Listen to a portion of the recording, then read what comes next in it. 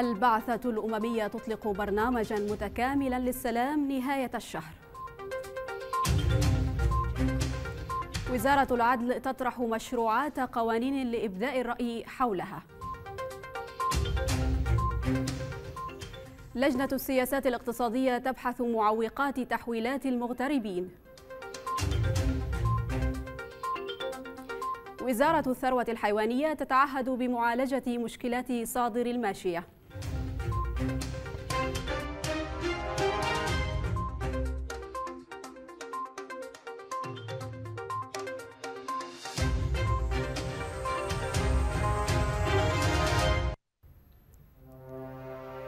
المشاهدون الكرام أهلا بكم في جولة جديدة من أحداث السودان. أعلن رئيس بعثة يونيتامس بيرتس فولكر إطلاق بناء برنامج استراتيجي متكامل لبناء السلام والاستقرار في السودان نهاية الشهر الجاري. وخلال لقائه وزيرة العمل تيسير النوراني أكد رئيس رئيس البعثة الأممية الخاصة دور البعثة في الإصلاح الإداري ومساعدة السودان في تطويره. ووصف رئيس البعثة اللقاء بأنه مثمر جدا وأشار إلى أهمية الوزارة في تثبيت السلام في السودان. وناقش اللقاء فرص التعاون بين وكالات الأمم المتحدة ووزارة العمل وبعثة يونتامس خاصة في مجالات الإصلاح الإداري من جانبه أشار وكيل وزارة العمل يوسف الطيب إلى تنسيق الوزارة مع منظمات الدولية وفق الاتفاقيات الدولية. وقال إن الحكومة بصدد مراجعة التشريعات الوطنية ومواءمتها مع التشريعات الدولية من أجل الانطلاق إلى الأمام. هذه الوزيرة وزارتين مهمتين جدا لإنماء البلد ولتثبيت السلام بالسودان. فناقشنا مع الوزير مع الوزيرة إمكانيات التعاون بين عائلة الأمم المتحدة. هذا يعني كل وكالات الأمم المتحدة وبعثة يونيتامس والوزارات والحكومة السودانية بشكل عام خاصة في المجالات الإنماء الاجتماعي التدريب. بحثت وزيرة الخارجية مريم الصادق مع وكيل الأمين العام للأمم المتحدة أتول كاري تعزيز التعاون بين حكومة الفترة الانتقالية والبعثة الأممية الخاصة يونيتامس وتوقيع اتفاقية وضع البعثة. وأمن الطرفان على أهمية التوازن في التوظيف واستيعاب السودانيين في مختلف مستويات الوظائف المحلية والدولية للبعثة والتعاقد مع الشركات السودانية. وذلك للاستفادة من الخبرات السودانية بالداخل والخارج. وأمن الجانبان على أن التعاون المثمر بين حكومة السودان ويوناميد يعتبر مثالا يحتذى به في التعامل بين الدول ومنظمة الأمم المتحدة. للمزيد ينضم إلينا من الخرطوم الصحفي والمحلل السياسي حسين سعد فأهلا به. أهلا بك وأهلا بالسادة المشاهدين للسودانية 24 أهلا أستاذ حسين كيف تعلق على لقاءات الحكومة الانتقالية مع قيادات أممية؟ حقيقة هذه اللقاءات والمشاورات التي تم إذاعتها في خبركم اليوم هي إغاءات مهمة جدا وعندها علاقة بالانتقال الديمقراطي والتحول الديمقراطي في السودان خاصة وزارة مهمة زي وزارة العمل التي معنية بالنقابات ومعلوم أنه النقابات عندنا في السودان شهدت خراب ودمار كبير جدا من قبل النظام البايد فلذلك النهوض والمساعدة في تدريب قيادات النقابات ووضع قوانين لها. وزي ما كانت في مشاورات كبيرة جدا تمت من قبل المنظمات المجتمع المدني خصوصا مركز الأيام للدراسات الصحفية والتنمية وضعوا قانون للنقابات 2020 ولكن لغصور وسوء تقدير من قبل الحكومة الماضية أو وزاره العمل في الفترة السابقة ما تمت إجازة هذا القانون. لذلك آن الأوان إنه يعني أن تأتي متاخرا خيرا من أن لا تأتي. فدي خطوة مهمة جدا يعني تجد الدعم الكامل من قبل قيادات الحكومة الجهاز التنفيذي وقيادات الحرية والتغيير وحتى من الإعلام. لذلك كان هذا الخبر من أول الأخبار عندكم ولقت اهتمام كبير جدا. نعم تذكيرا يعني أستاذ حسين ما هي القيمة في بعثة يونتامس في الفترة الانتقالية بالتحديد؟ البعثة دي بتساعد السودان في محاور أربعة رئيسية وهذه المحاور لن يكتمل الانتقال الديمقراطي والتحول الديمقراطي بدونه. من هذه المحاور هي مساعدة السودان في الانتقال الديمقراطي والتحول الديمقراطي وده بيشمل قطاعات أساسية ورئيسية زي موضوع الدستور. و نعم. وأيضا موضوع الانتخابات ومفوضية الانتخابات وتدريب الناس. وكذلك حشد الموارد ال- لمساعدة السودان تنمويا واقتصاديا. فهذه المحاور الأساسية بما في ذلك المحور الخاص باستكمال السلام. وقبل يومين يومي 25 و26 و27 عقد مجلس الوزراء اجتماعات مطولة جدا وهذه الاجتماعات كانت ناجحة من خلال ال- الأولويات الخمسة التي حددها رئيس الوزراء دكتور عبد الله حمدوك وهذه الأولويات هي تتماشى تماما مع ال مع ال- ال- القضايا التي ينتظر أن تنفذها وتدعمها البعثة في في السودان. من هذه الأولويات هي قضية السلام وقضية معاش الناس والأوضاع ال- ال- التنموية واستكمال آه، السلام والتجهيز للانتخابات القادمة ووضع الدستور. واليوم آه، يعني كانت هنالك آه، مؤتمر صحفي كبير في وكالة السودان للأنباء. نعم. نظموا المركز الإقليمي للدراسات للتدريب وتنمية ال- المجتمع المدني. وهذا ال- ال- المؤتمر الصحفي كان بخصوص الدستور آه الذي ينتظر أن آه يعني هذا الدستور يعبر عن تنوع وتعدد السودانيين بمختلف تنظيماتهم وبمختلف آه ثقافات وأديان. ودي خطوة كبيرة جدا. أنا في تقديري آه دي واحدة من الموضوعات الأربعة التي تجد الدعم من البعثة الأممية. منذ شهور أستاذ حسين أعلن عن عمل هذه البعثة لكنه تأخر. ترى ما هي الأسباب؟ هي التأخير بتاع ال- البعثة آه، كان ناتج منه جزء آه، كان مرشح رئيس لهذه البعثة آه، فرنسي الجنسية. وبعض الأطراف رفضت آه، هذا ال- الرئيس. ولذلك آه، لما تم ترشيح ال- الرئيس آه، آه، الذي الألماني الجنسية الذي وصل في فبراير الماضي آه، واصلت البعثة بقيادة المنسق آه، أستاذنا وصديقنا سعادة السفير آه، عمر الشيخ واصلت عملها قبل أكثر من آه، قرابة الشهرين هي مواصلة في تحضيراتها وفي اجتماعاتها وفي عملها اليومي. فلذلك الآن تم حل هذه ال- المعضلة. وصل السيد آه، رئيس البعثة وانخرط في في اجتماعاته نعم. الرئيسية والتي وجدت دعم كبير جدا من الإعلام بكافة قطاعاته. طيب يعني هنالك أحاديث تدور حول تدخلات هذه البعثة وخصمها من السيادة الوطنية للسودان. آه، هل هي كذلك؟ آه، ابدا. هي آه، جزء من بقايا النظام البائد حاولوا يعملوا تضليل وتشويش للمهمة الرئيسية والأساسية لهذه البعثة. و- ولكن هذه الخطوة التي أثارت آه، غبار كثيف لم تجد آه، آذان صاغية. ووصلت نعم. البعثة وهذه البعثة المهمة حقتها محددة وواضحة ولا غبار عليها وما فيها أي لبس فيما يتعلق حتى تقلل أو تتدخل في السيادة الوطنية. طيب في الخبر إشارة إلى برنامج استراتيجي لبناء السلام والاستقرار في السودان ما هي أبرز ملامح هذا البرنامج الاستراتيجي؟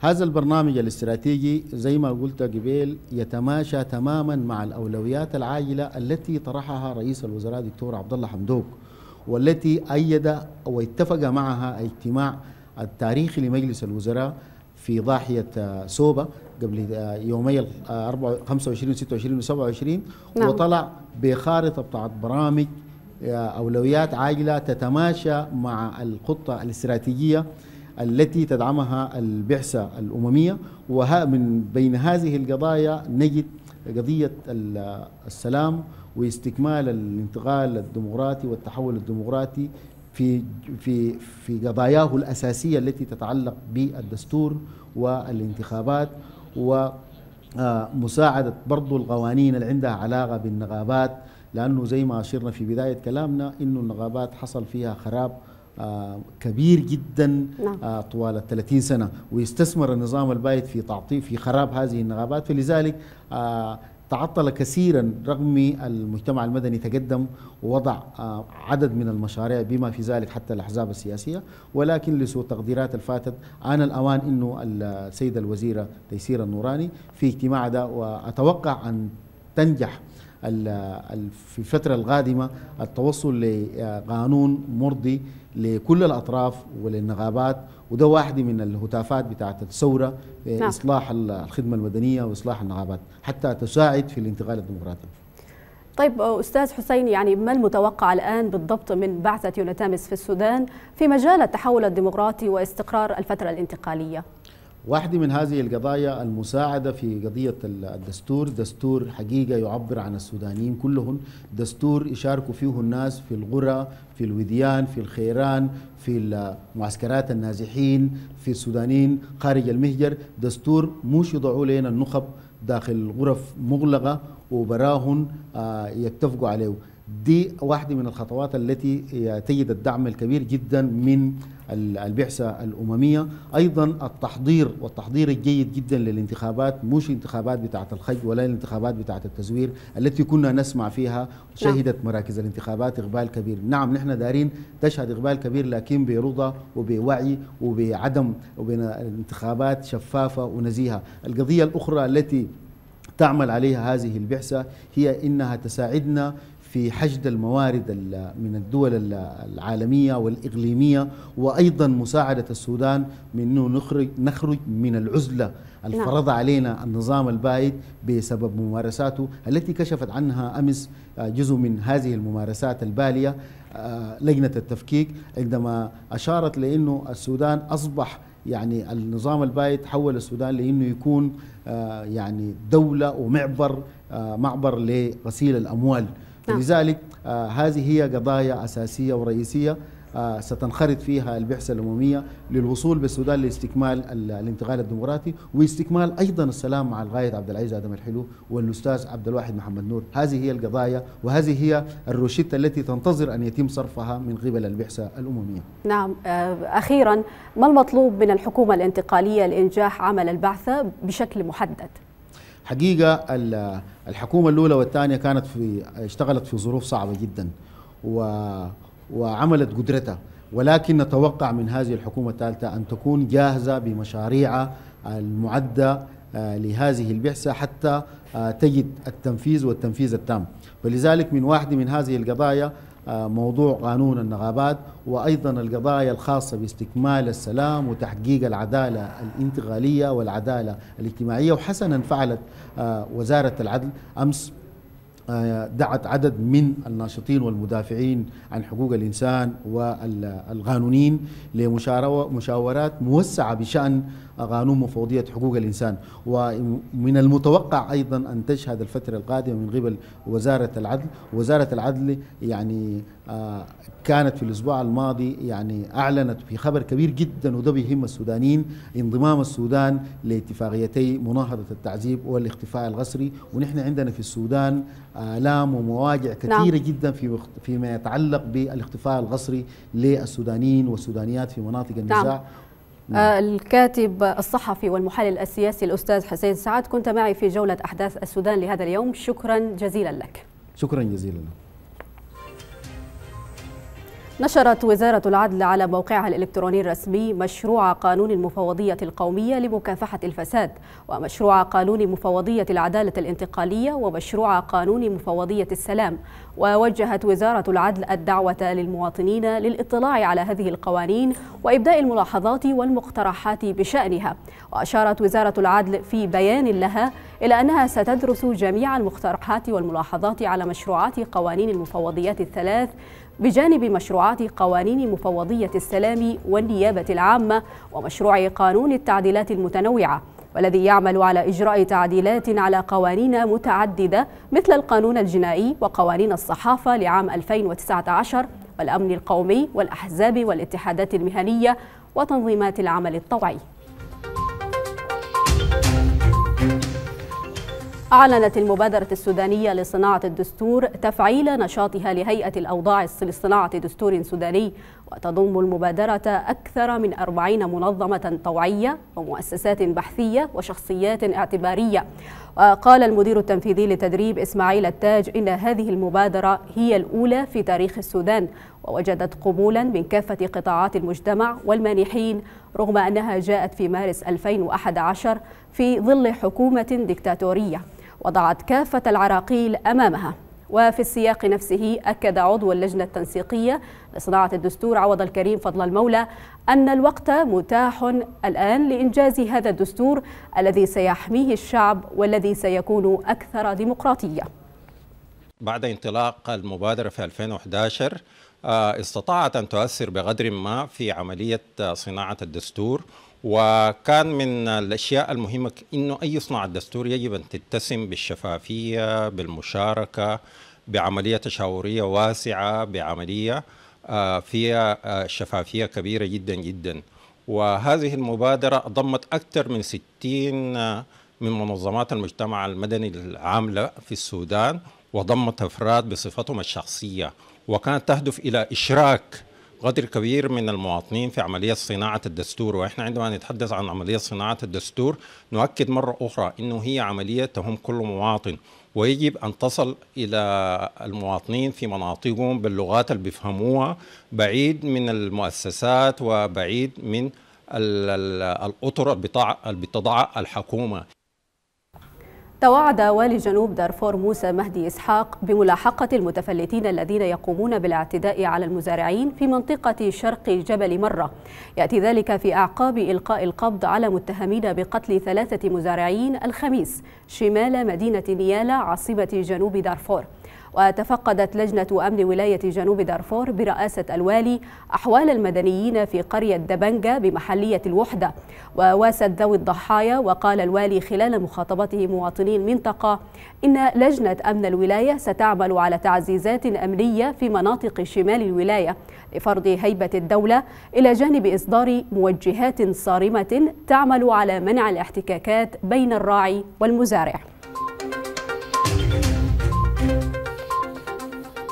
قرر مجلس الأمن والدفاع تعزيز قدرات القوات النظامية والأجهزة الأمنية في إقليم دارفور والاستمرار في عمليات نزع السلاح من المدنيين ومحاسبة المتورطين في أحداث العنف الأخيرة التي شهدتها عدة مناطق في دارفور. وعقد مجلس الأمن والدفاع اجتماعا برئاسة عبد الفتاح البرهان رئيس مجلس السيادة الانتقالي. قال وزير الدفاع الفريق ياسين إبراهيم ياسين إن المجلس استمع إلى تقارير حول الأوضاع الأمنية بالبلاد وإلى تقرير حول ولاية غرب دارفور قدمه الوفد الحكومي الذي زار الولاية أخيراً. أبدى رئيس بعثة الصليب الأحمر بالسودان باسكال كوتا اهتمامه بتدفقات اللاجئين الإثيوبيين على السودان ووصف لدى لقائه عضو مجلس السيادة الانتقالي صديق تاور تدفقات اللاجئين على السودان بأنها كبيرة وتتوقع أن يكون لذلك انعكاس على الأوضاع في شرق البلاد. وأوضح مسؤول الصليب الأحمر الدولي في تصريح صحفي أن اللقاء تطرق لأنشطة وبرامج الصليب الأحمر في السودان وجهود البعثة في كل من دارفور وجنوب كردفان والنيل الأزرق بالإضافة إلى شرق السودان والذي قال إنه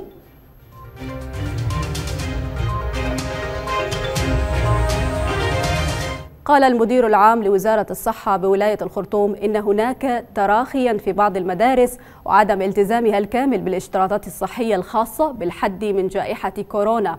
وتتجه ولاية الخرطوم للعمل بمبدأ التعايش مع جائحة كورونا شريطة الالتزام الصارم بالضوابط والاشتراطات الصحية.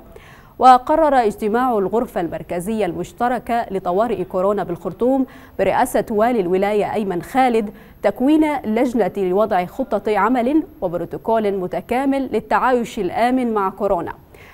يطبق في الفترة القادمة. وأشارت وزارة الصحة إلى أن واقع كورونا لم يصل بعد إلى مرحلة الأمان الكامل وانتهاء الوباء.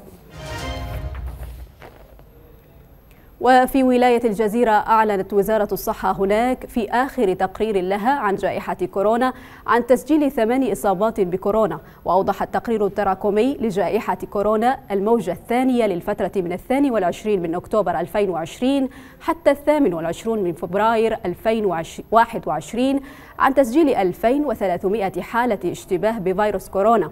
ودعت وزارة الصحة مواطني الولاية للالتزام بالموجهات الصحية التي أعلنتها وزارة الصحة للحد من الإصابة بفيروس كورونا. أعلنت اللجنة التسييرية لنقابة عمال التعليم بولاية الخرطوم عن اتفاق لتنفيذ كافة الترقيات الخاصة بمعلمي ولاية الخرطوم مع ديوان شؤون الخدمة ووزارة التربية الولائية. وقالت رئيسة لجنة تسيير نقابة عمال التعليم بالولاية أمل سليمان إن اجتماعا أقر تنفيذ ترقيات المعلمين بولاية الخرطوم كافة وأوضحت أمل أن القرار الصادر من ديوان شؤون الخدمة خلال الأيام الماضية لا يشمل المعلمين وأشارت إلى أن تنفيذ الترقيات سيكون في راتب مارس القادم. تدرس وزارة الشؤون الدينية والأوقاف إصدار تذاكر السفر للمعتمرين إلكترونيا تفاديا للتكدس الذي يحدث في رمضان بالإضافة لمحاربة الوسطاء والمضاربين. وأكد وزير الشؤون الدينية والأوقاف نصر الدين مفرح الاهتمام بالمعتمرين وأوضح في لقاء جمعه مع مديري الخطوط الناقلة جوا أهمية توحيد سعر خاص لتذاكر العمرة لكل الخطوط مع تعديل تاريخ حجز السفر من دون مقابل مراعاة للظروف الصحية التي يمر بها العالم مع الالتزام بعدم قفل مقاعد الطائرات خاصة في عمرة رمضان حيث اتفق على تكوين غرفة عمليات مشتركة للتفويج المنتظم للمعتمرين في ظل الإجراءات الاحترازية لجائحة كورونا.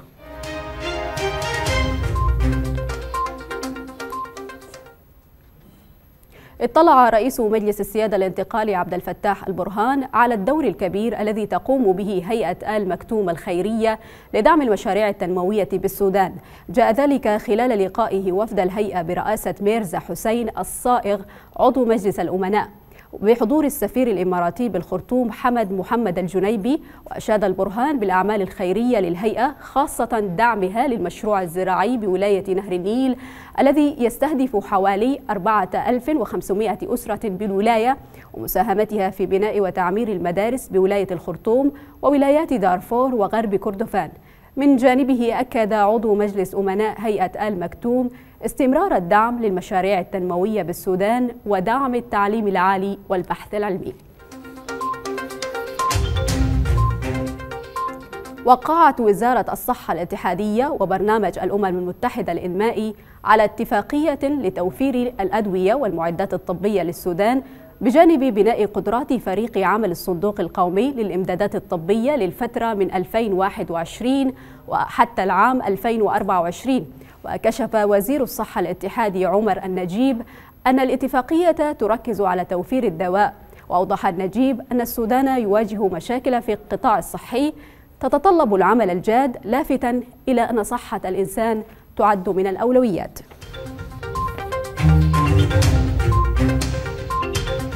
وعن أحوال الطقس فقد توقعت الهيئة العامة للأرصاد الجوية في آخر تقرير لها استقرار درجات الحرارة بشقيها الصغرى والعظمى دون تغير تغيير يذكر في جميع أنحاء البلاد مع أجواء حارة نسبيا نهارا نهارا إلى باردة عند الليل والصباح وذلك في مع رياح من شمالية إلى شمالية غربية تنشط عند الليل وحتى الساعات الأولى من الصباح كما توقع توقع التقرير مرور منخفض جوي حركي من شرق منطقة حوض البحر الأبيض المتوسط الأربعاء مما يؤدي إلى نشاط الرياح وإثارة الأترب وإثارة الأتربة وانخفاض الحرارة انخفاضا طفيفا.